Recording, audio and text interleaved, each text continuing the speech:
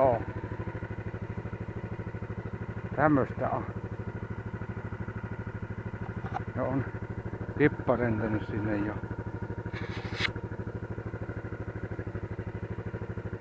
Vettä vettä mönkiä. Vähän tulla enemmän, niin sitten ottaa tuo lumilinka tuohon. Niin. Niin tota kehto, oma tekemiä lannon kehto esitellä. Tota elikin nähdä ei. Tämmöstä. Niin kerran käyn tuolla vielä.